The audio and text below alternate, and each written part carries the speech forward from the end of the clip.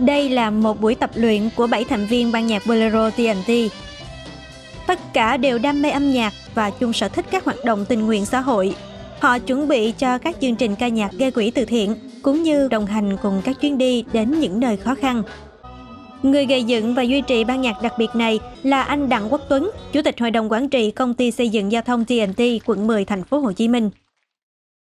Nói chung là cái ban nhạc mình đó thì ờ, mình là trưởng nhóm thì ờ, thì đa số những tay đánh ọt đờn thì cũng của anh em toàn bộ phòng phòng kinh doanh và phòng uh, kỹ thuật hai hoặc xe máy. Mình kết hợp vô một cái ban nhạc đánh cho nó vừa ý à, coi như là nó hợp tấu với nhau. Xưa đây là chủ yếu là mình đi chỉ có phát quà thôi thì cảm thấy nó lơ lỏng quá cho bà con không có được cái thưởng thức cái cái một cái món ăn kiểu mà tinh thần giải trí. Thì mình mới nghĩ ra cái mình thành thành lập một cái bên nhạc rồi gồm có thiết bị máy móc rồi âm thanh đồ hay gì đầy đủ rồi mỗi lần đi từ thiện mình kéo nhau rồi cho bà con thưởng thức những cái ờ, món ăn tinh thần kiểu mà kiểu mà giải trí à thì bà con rất là thích những cái đó, đó. Dạ bên nhạc thì phải nói là rất là chuyên nghiệp và kiểu khi mà em tập dợt á thì có cái điều gì mà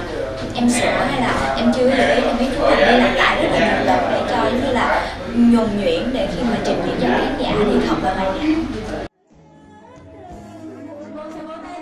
Được thành lập cách đây 2 năm, ban nhạc Bolero TNT của công ty xây dựng giao thông TNT quận 10 thành phố Hồ Chí Minh đã thực hiện hàng chục chuyến đi thiện nguyện cùng các tổ chức, đoàn từ thiện, mang đến món ăn tinh thần sảng khoái cho bà con vùng sâu vùng xa ở các tỉnh miền Tây Nam Bộ và miền Trung. Ban nhạc thường tham gia hoạt động thiện nguyện từ 1 đến 2 lần mỗi tháng. Trong 2 năm qua, ban nhạc đã đi khắp các tỉnh thành phố ở miền Tây Nam Bộ và các tỉnh miền Trung